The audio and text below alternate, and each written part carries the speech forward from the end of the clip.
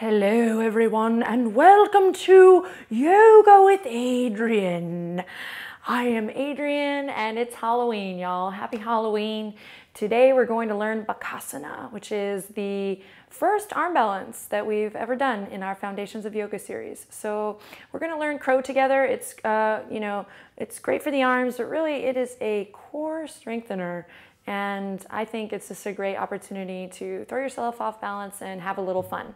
So hop on the mat and let's learn Bakasana.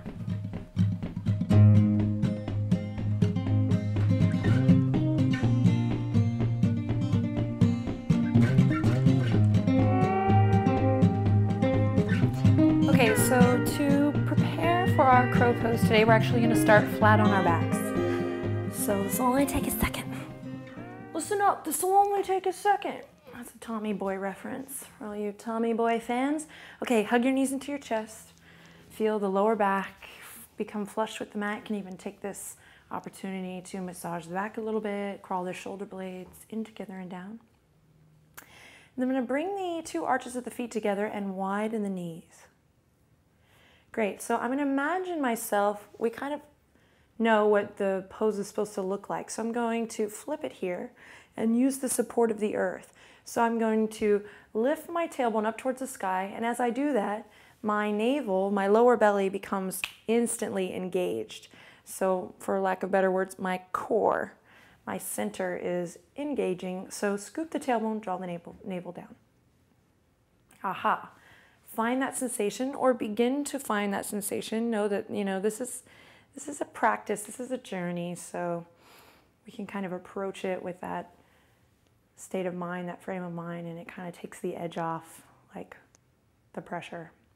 Okay, so navel's drawing down, tailbone scooping up, knees are wide. I'm going to press my palms towards the ceiling as if I were pressing into the earth. I'm going to keep um, space, rather maintain space between my ears and shoulders. And then I'm going to draw it in and all together. And what I mean by that is I'm going to draw my knees up closer towards my elbows and the base of my hands closer towards my toes. Now, wherever they meet, which will be different for everyone here, I'm going to squeeze. So wherever they meet, whether it's all the way up here or right at the elbows, I'm just going to practice a little give and take between the arms and the legs hard work here. So I'm squeezing the legs in towards the arms and I'm pressing the arms out towards the legs. So I have a little bit of friction here. My core is engaged, tailbone scooping up. Last part here, I'm going to point the toes. Breathe. Neck is nice and long. And then I'll gently release. Rotate the wrist one way, then the other and then cross the ankles, grab the outer edges of the feet, can do a little full body smile here, rock a little side to side. And then we're gonna rock it up, flip our burgers, and practice crow. Okay, so if you have a yoga block, grab it now. And if you don't have a yoga block, you might consider using a book, which we say all the time, and so I'm actually gonna use the book today to prove to you that it is just as great. So this is a nice little way to get into the posture, but it's not necessary. If you don't have a book or a block, then we can still build the pose right now. I'm going to use it as a little bit of a perch here. So I'm going to bring my toes onto the block or the book, and I'm using my fingertips to stabilize here. Then I'm going to recreate the shape I did on my back. Bring the inner arches of the feet together. Widen the knees, breathe. And then I'm going to plant my palms really spreading the fingertips, finding that integrity here as I draw the shoulders away from the ears and draw the navel up towards the spine. Okay, so there's going to be a couple different stages to this posture, and we're going to approach them all with just a fun loving attitude and no toxic thoughts, okay? Again, remember, we don't come to the mat to do yoga, but to practice, to have an experience. So I'm going to draw my navel up towards my spine and I'm going to walk a little bit forward on my perch and then keeping the neck nice and long, I'm just going to see where the knees meet. Okay? So I'm not lifting the toes up or anything. I'm just seeing where they meet. I'm finding integrity here, soft bend in the elbows. Most important thing is I'm going to keep this extension in the neck and send my gaze forward. Take a deep breath in here, and then exhale, come back onto your perch, relax. You can tent the palms here, come onto the fingertips. Take a deep breath in, and then exhale. Here we go again, planting the palms. So shoulder width apart here. Lots of space between each finger. The integrity here in the palms is so important because I'm not collapsing into my bones, but like we've been doing in a lot of the foundations of yoga uh, that are on, on the ground anyway, we're finding that upward current of energy, that, that hasta bandha, as we call it. Here we go again, drawing the navel up towards the spine, keeping the neck nice and long. This time, maybe I find that my knees can come a little bit higher up on the arms, maybe up towards the armpit chest area. The neck is nice and long. Guys, I can't stress how important it is to keep your gaze forward because otherwise you might do a little somersault forward. And if that happens, no worries, shake it off. Now this time we breathe and we might lift one toe up. And then exhale, release. And then the other toe, just experiment. And then exhale, release. Take a rest. You can even uh, Check in with the wrist the opposite direction if you need to, if you're still building strength in that upward current. And let's try again. Breathing.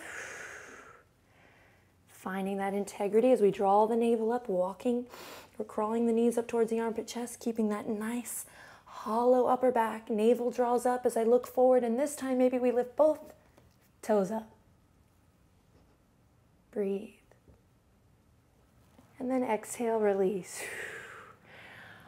Maybe you got up, maybe you didn't. Let's see if we can remove the perch and just experiment without it. Or if you don't have the perch, then we'll join you.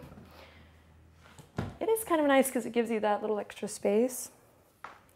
Let's just see. Okay, coming into our squat, knees nice and wide.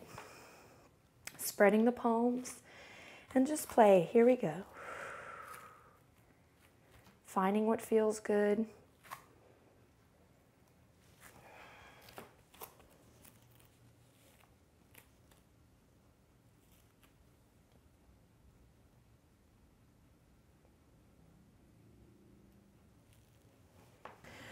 Okay, so don't hold your breath like me. Make sure that when you're um, kind of playing with that suspension there that you're not suspending your breath. Okay, we want to keep the breath flowing. We're going to take a quick break here by coming to downward facing dog. And then just practicing a couple hurdles in between. Drawing the navel up towards the spine. I like to do this as a crow prep because it keeps this integrity in my center and my core while I also spread the shoulder blades left to right. So I send it back and forward, drawing the navel up. I'm never sinking into my bones here, but always keeping that pressing up and out of the palms um, activity going. One more time.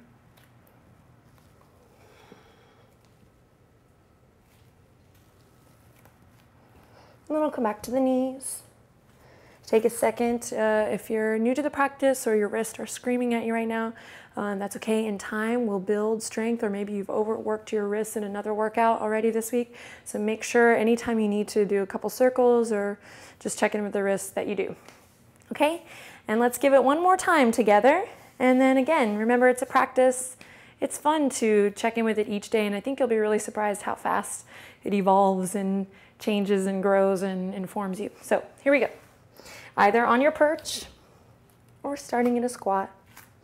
Spread the palms wide, press up and out first. Remember that sensation we just had in our hurdles, so I'm drawing the navel up, and from there, I'll head on in.